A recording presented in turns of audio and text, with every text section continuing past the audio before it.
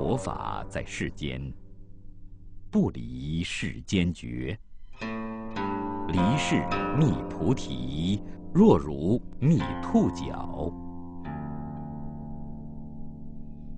佛法本在平凡处。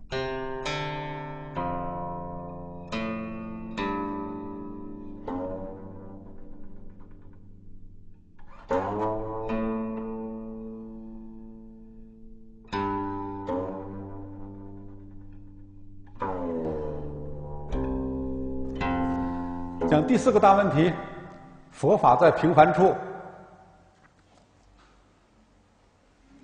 一切法皆是佛法，《金刚经》有一句话呀：“是故如来说一切法皆是佛法。”有人说：“哇，一切法都是佛法，那杀人放火也是佛法呀？”没错，也是佛法。哦，那别的宗教也是佛法吗？对，也是佛法，都是佛法。明白吗？杀人放火，他会受报的，是吧？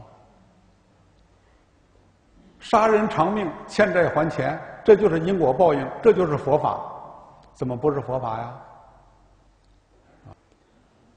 《金刚经》里边讲：“是故如来说一切法皆是佛法。诸菩萨摩诃萨应入世生清净心，不应住色生心。”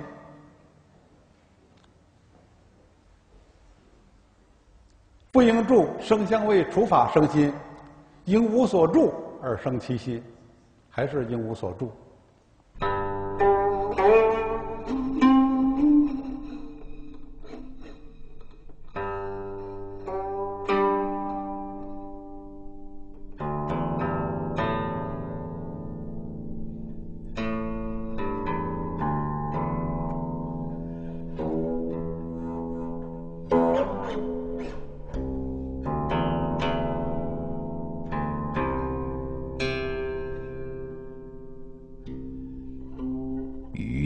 切实处，常生清净心。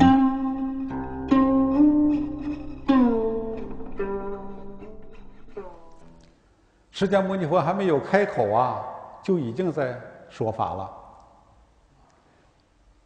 从他的吃饭、穿衣、起食，哪怕包括洗脚、扶坐而坐，啊，衣食住行都是在表法，都是在说法。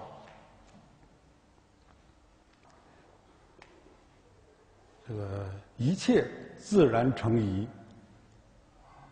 这个佛门讲叫行如风，坐如钟，站如松，这都是法。啊，出家人呐要有出家人的风度风采，在家居士也要有在家居士的风采。居家修行之事嘛，就是在家居士，叫居士。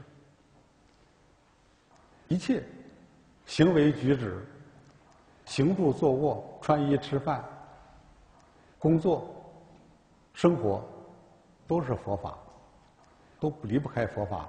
意思大家要有一个修行的概念，要用佛法来贯彻到自己的生活中去，贯彻自己的行为中去。呃，再讲个故事啊。以前呢，有一个妇女，她经常从自己花园里头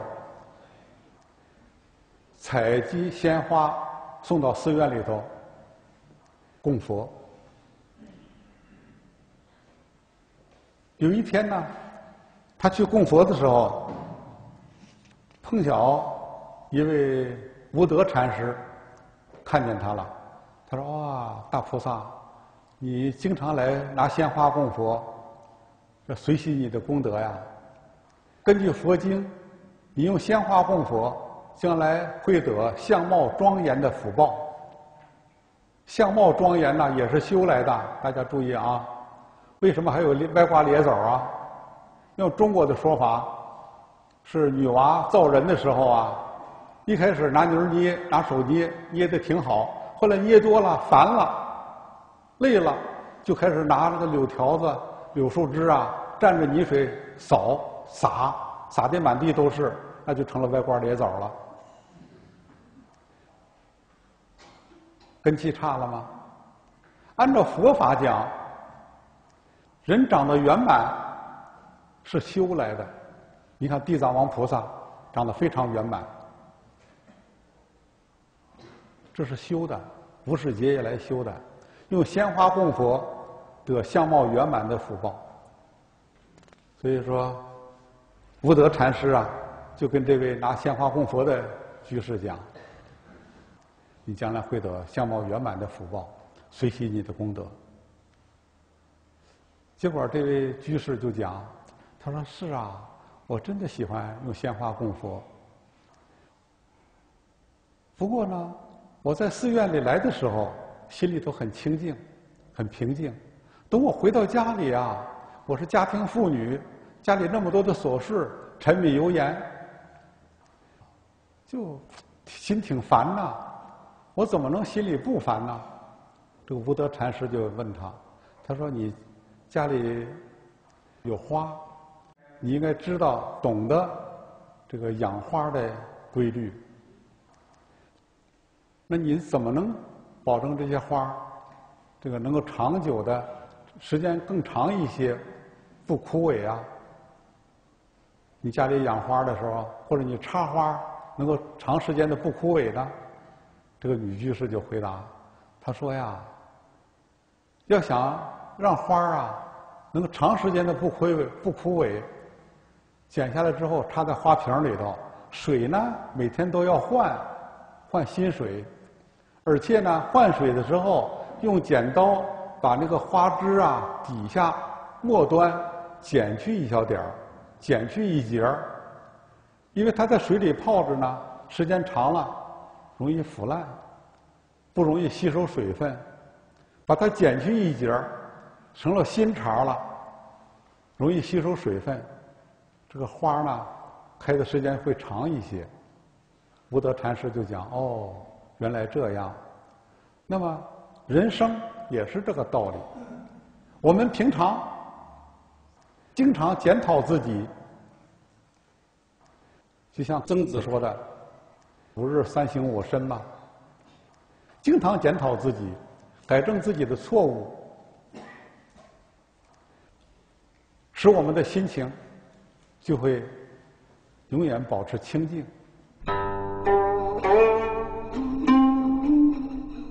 身是菩提树，心为明镜台，时时勤拂拭，莫使惹尘埃。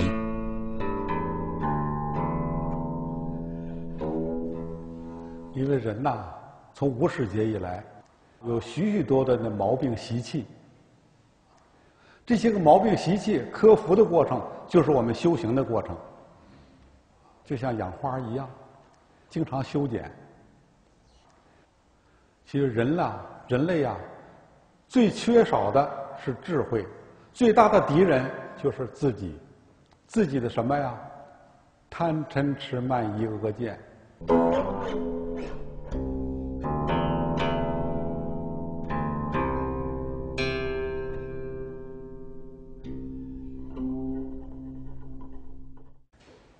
这些个烦恼都是自己的敌人，所以作为修行人来讲，就是修这个修清净心。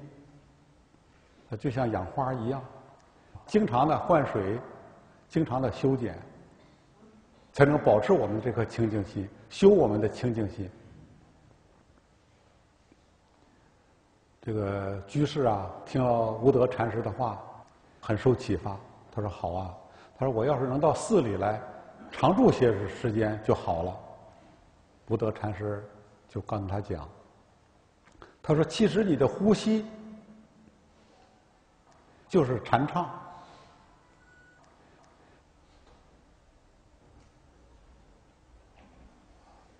你何必到寺里来呢？到家里也同样能可以修行的。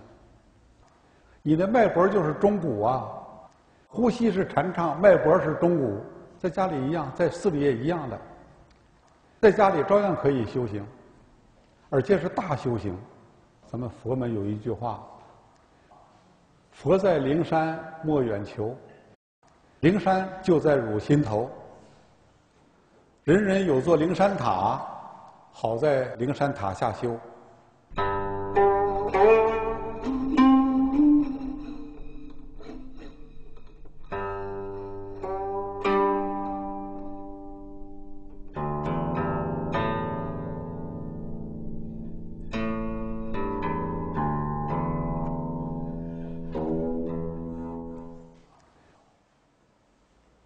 心就是佛，佛就是心嘛，心佛不二的。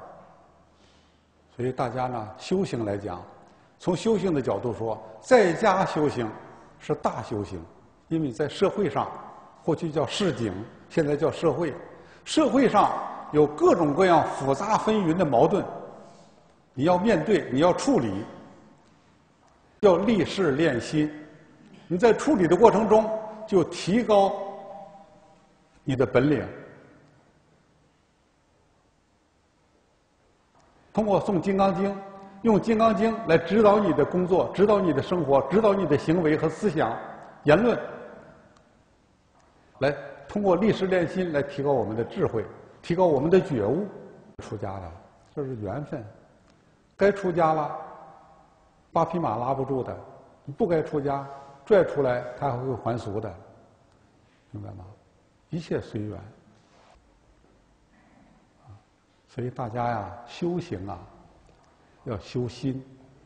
啊，呃，前几天有一个沙弥剃度了，准早老早的准备好红包了，按照佛门规矩啊，师傅给剃度了，要供养红包的，我就告诉他，你把红包放到功德箱去，不供养师傅，师傅不要钱，要你的修行，你好好修行。师傅就欢喜了，所以正觉寺啊，以后就要革除这个陋习，见钱眼开。徒弟跟师傅之间也得用金钱交换，不要。昨天跟大家讲过了，以前也跟信众们讲过，正觉寺现在正在建设，不收门票。以后建设好了，有了山门，有了院墙。也照样不收门票，干嘛收门票啊？大家建的寺院，佛门弟子到了寺院了，就是回家了。哪一个儿女回家看父母来了，还得拿上钱呢？是吧？你只要修行好了，你事业发达了，师傅就高兴，就欢喜。这就好了，你对祖国、对社会做出更大的贡献，那佛菩萨也高兴啊，也欢喜啊。今天中午吃中午饭的时候啊，到六合楼，今天第一次开火，中午人拿到六合楼吃饭，过斋，有几个人，两波，他们是游到那个游莲花山游乐场去玩的，到正觉寺上了六合楼了，进去了，看着正吃饭。还有一个小姑娘问：“吃饭要钱不？花多少钱？”就有信众说了：“有居士、义工讲，这儿不收费。”他们挺高兴，坐下来就吃。要别的寺院，可能有的寺院就不愿意。怎么坐这儿就吃？因果关系呢？因缘果报呢？没有了吗？不对的。啊，他吃了佛家的饭。种下成佛的因，等于结个佛缘，何乐而不为之呢？对吧？嗯，这也是不住相布施，又不是一顿饭嘛。咱们有没有山珍海味，是吧？几块钱的事儿，跟人要那个钱干什么？算大账，别算小账。他能学习佛法，能修行，能成道，咱们寺院的常住出家人都会欢喜，佛菩萨也会欢喜的，啊，好，阿弥陀佛。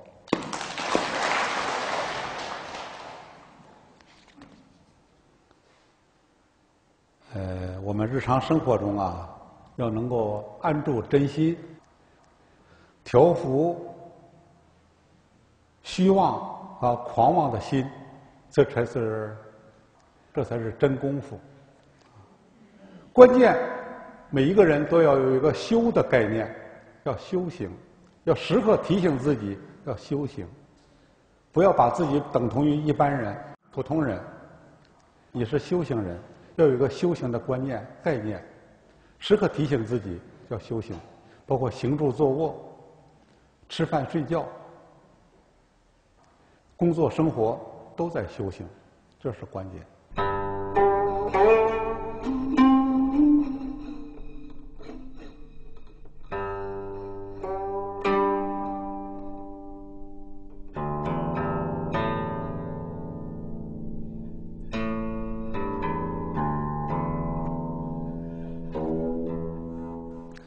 修行的目的呢，是出世的，是了脱生死，跳出轮回。但是修行还得从入世着手。啊从修行的次第来讲，还得先入世，以后才能出世。如果像现在我就修出世，修不了的。包括出家人。在寺院里生活，在寺院里居住生活，也得先做事。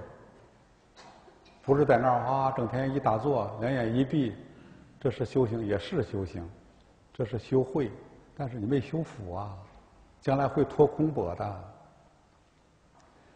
你出家人也得福慧双修，修福修慧才可以。那么在家居士、在家信众也是这个样子。都要修，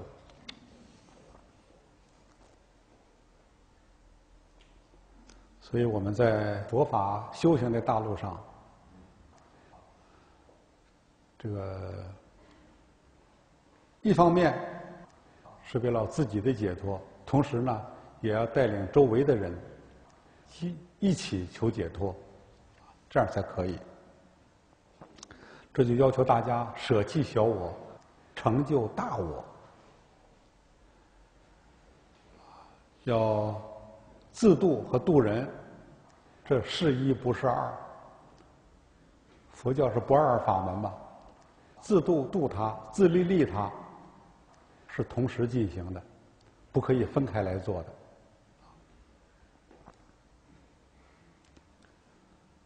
当然，入世不是让大家回到那种。放纵和声色犬马中去，也不是，还要约束自己。入世不是让牛啊什么都干随便吧，不是的，要严格的要求自己，用佛法、用佛教的戒律要求自己，这是高一层的要求了。第一层要求是什么？遵守国家法律法规。现在叫游戏规则。你就是经商，也有经商的游戏规则呀，经商的规律呀，大家都要遵守，这个才能有秩序。社会秩序好了，一切都和谐了，那我们的工作就好开展，就好做，你生意做起来也会顺利。不可以骗人的哦，这个要注意。骗人不会长久的，也可能得计于一时，但是不会长久。从佛门的角度来说，要想做佛商，不单是佛商，就是儒商、佛商、儒商、禅商，立身都要正。有的做小买卖的，或者做小生意，可能骗骗。但是要做想做大生意，不能来点半点虚假。按照这个规则出牌，用现在的话讲，按规则出牌，就是按照一切法律法规，它的规律来做事，这才行。经商有经商的规律。啊所以我们作为佛门弟子来讲，做佛商也好，做佛门弟子也好，都要立身要正，行为要合乎佛法，这样才可以。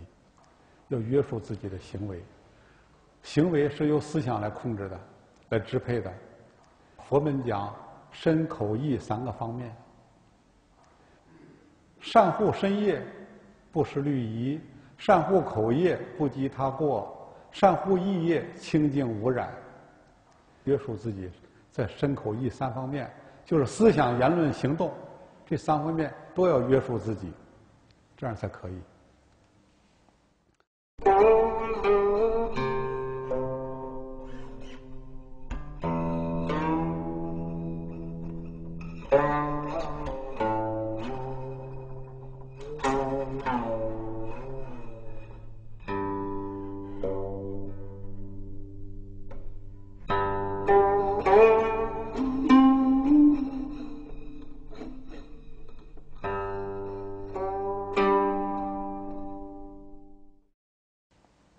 才能做大事，否则耍小聪明，啊，今天骗骗这个，明天骗骗那个，今天借这个钱不还，明天借那个钱不还，时间长了就臭了，没人相信你了，没有信用了，这是最可悲的事情。超越一切的大解脱，首先从眼前的小事儿做起，连吃饭穿衣。都不能摆脱烦恼的话，就更谈不上了脱生死的大事。所以大家呢，这个要安住出世的超脱之心，从入世上做起。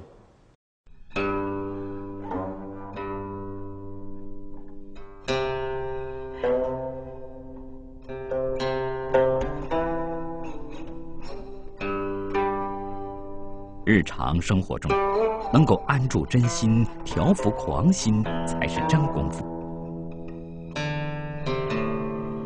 说易行难，如何练心？怎样安心？请看第七集：修在当下，善护念。